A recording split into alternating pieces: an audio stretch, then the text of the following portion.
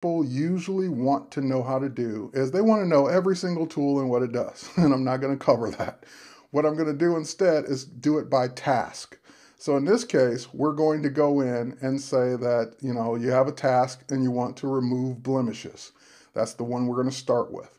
Now, there are several ways to do this, but the way that I like to remove blemishes the most is using the spot healing brush. That's the spot healing brush on your tool panel. And when you bring it over, you will normally have a circle, that's your brush. Now, by the way, I'm working with a Wacom tablet. I'm working with an Intuos 5. And while you can do what we're going to do with a mouse or a trackball or trackpad, I highly recommend a tablet for Photoshop work. It's just going to make your life easier and you're going to benefit from it every every time you use Photoshop. And even their lowest price $50 tablet is better than your most expensive mouse you can buy. So get a tablet. Now the next thing is when you bring this tool over to Photoshop and you're just opening Photoshop for the first time, you're going to be on what's called the background, and we're going to work on layers in just a moment. But you're going to be on the background, and so therefore any changes you make, you're making them to the actual image. Now the circle that you get will either be a circle, or it will be like a, a set of crosshairs like that. That's because I have the caps locked down. So if you don't have the circle, make sure your caps lock is off so you can get the circle. Now, the circle itself can be, it's your brush size. It can be hard, it can be soft. I normally like to work with a very soft brush. So we can go ahead and soften this up so that we have a nice soft brush to work with. And all I did was just click on this to get to the brush size, which can make it smaller or larger and softer or harder. So I like a soft brush to work with. Now you can also, I said I would show you keyboard shortcuts. You can also make your brush bigger and smaller if you have bracket keys on your keyboard.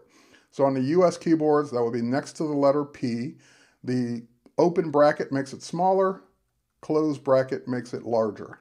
So now that I've got this, I'm just gonna go ahead and what blemishes do I wanna get rid of? I wanna get rid of the pimples and things that you probably wouldn't notice when you saw the person. And also the things that wouldn't be there maybe in a week if it's a pimple especially.